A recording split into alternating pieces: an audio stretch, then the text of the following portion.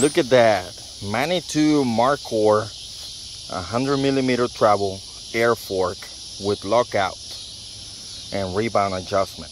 What's up guys, Alex over here, about to do a real-time trail review on the Manitou Markhor fork that I installed on this uh, client's bike.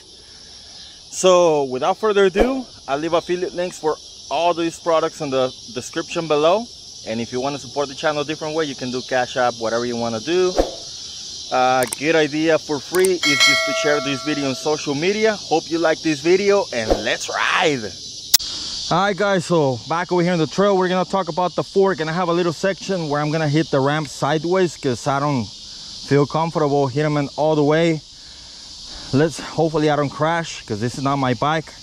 Let's see how that goes. I'm gonna place this camera into the fork area. Hopefully it goes well. Hopefully you guys can see the travel right here. It's a little bit stiff right now. Let's see. It's unlocked. So you have locked. There you go. That is unlocked. And I guess right here it locks it, but it still moves. So I'm gonna go all the all the way over here. Let's see how this goes the rebound is too high. A way that uh, somebody over here in the trail told me how to kind of set the rebound. Is just go with your hands right up against the uh, handlebar and compress it and let it go super fast. And if it jumps off the ground the rebound is too high. So that is actually moving too fast. Let's see what do we have over here? So these knobs it only it does kind of like a quarter of a turn only let's see if that did anything. Well I did something it's still too fast it doesn't have what it does. So I'm gonna go slower let's see. I don't know why these decals they're always backwards there you go. There you go. That's what i want. So i'm all the way to the slow position and then putting it back at around one o'clock. I think that's a sweet spot for this one for me. And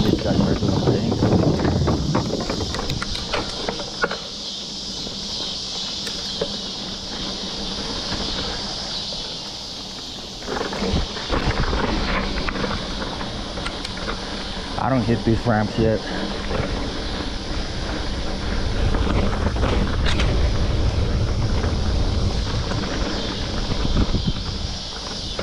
Let's see how this ramp, how this fork does on this ramp. Hitting it sideways though. That did not feel like a bottom out, which is a really good thing. It's actually doing a pretty good job. I mean, my hands are not tired. My arms are not tired.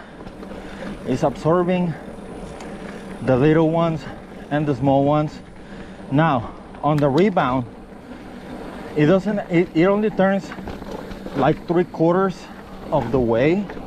So what I did I went all the way counterclockwise and then I placed my thumb at 12 o'clock and then turn it clockwise uh, to one o'clock to where my uh, thumb was at one o'clock and I kind of that kind of hit the sweet spot for me. Rider. And a little bit of a drop. A little bit of a jump. I think it's been doing okay so far. I haven't felt it bottoming out. I have a root section right here it's all good. It's soaking everything up. Now one thing. Man I almost went over my handlebars.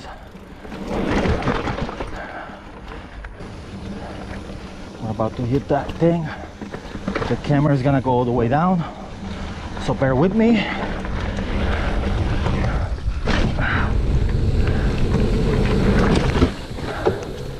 That's the jump, the heavy one. So I did not feel it bottom out, but I did feel something. I'm gonna tell you what it is once I stop. All right, guys, uh, back over here at the garage, and we're gonna be talking about the fork, just the final impressions. And again, we have the Mark, uh,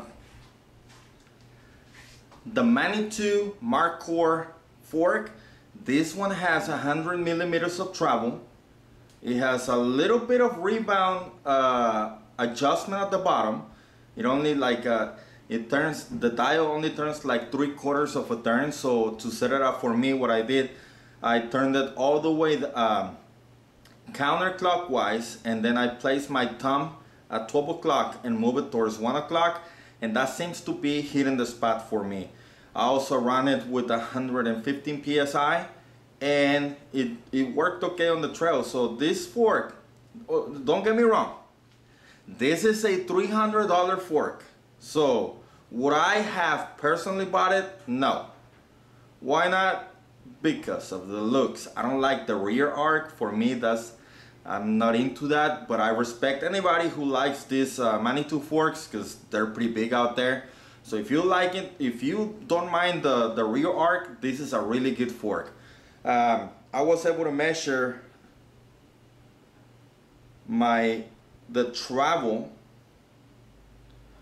I was able to measure the travel that I did at the trail just because he doesn't have a compression ring, but just by looking at the marks, I was able to get 103.9 millimeters of travel, uh, almost 104 millimeters of travel. This is advertised as 100 millimeters of travel, if I'm not mistaken. And it also has, it comes with a token that you can actually uh, service this and make it a longer travel. I'm not gonna lie to you, it might go up to 120, but uh, getting a little over 100 yes this is advertised at 100 millimeters of travel and like I said I was able to get 104 millimeters of travel and I did not feel this thing bottom out. So if you're able if you feel comfortable taking this thing apart and increase the travel is gonna be a great fork. Now remember uh, why wouldn't I have bought this? Is because I would have probably stuck with the right um, SR Suntour with a quick release because they come in tapered. You can find a quick release taper and I'll leave affiliates if I can find it in the description below. Or you can also get a RockShox Judy uh, taper and also with a quick release. This one is a straight tour tube so we had to use the adapter to get it installed and it's we kept the original wheels so it's still running on quick release. So this is 100 millimeters of travel with a 9 millimeter uh, quick release axle. It has a little bit of rebound and it has a lockout. However, the lockout doesn't completely lock out, so it moves a few millimeters and like, let's say, I think it moves around a 10 millimeters and then it stops. So it has a little bit of a give, so it's not a true, true lockout. Did it perform well on the trail? I cannot complain about that. The only issue though that I found on the bigger you know I don't jump too much, but on one of the jumps that I like to do on the trail, you kind of land kind of hard. So whenever it compresses all the way down, I kind of felt the 2.6 tires rubbing up against the arc. So with that said, I would find this fork more suitable for 2.4 tires and uh, that way we can uh, avoid the rubbing issues. Now, what I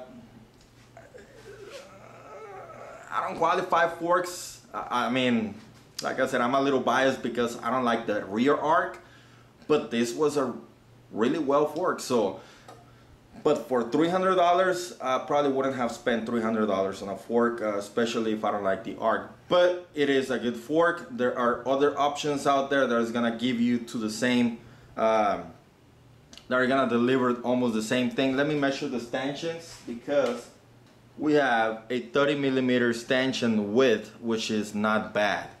So with that said, there might be better options up there but many of those options require you to change at least the front wheel to a through axle. So if you don't want to spend the money on getting the wheel replaced this will do just fine or you can find some of the alternatives without them having to beat the really low budget unserviceable fork. So this is what I like about this one that this is a fork that you can service and it's not a Bucklos which performs almost as well but it's not a serviceable fork. This one is. So with that said uh, will I recommend it. Again if you like the rear arc and, and if you don't want to upgrade the front wheel and if you do the math uh, if it adds up to you if you want to spend $300 or maybe find it used on the Amazon warehouse go ahead and go for it. I mean there's nothing wrong with this fork. Lytro used, it worked fine. It took a few jumps, no issues. And other than that, it is it is a good fork. It is a good fork, but again, if you have the capabilities to be able to upgrade to a taper fork, even though you most likely are gonna have to, most likely because not necessarily, you might also need to change the front wheel. And if the mat adds up and is convenient for you, go that I will go that route. And you can always use Facebook Marketplace, OfferUp to find good deals like I have, and it works out well as well. So, other than that, I will recommend this fork. I'll leave affiliate links in the description below. And uh, if you want to support the channel, check those links. Also, just by uh, subscribing, turning the notification bell on, you can do that as well. Also, if you share this video on social medias, it'll help a lot more. Than that, that's it for today. And if you want to support the channel in different ways, check the description. That's it for this one, guys. See you on the trails. Let's ride. Goodbye.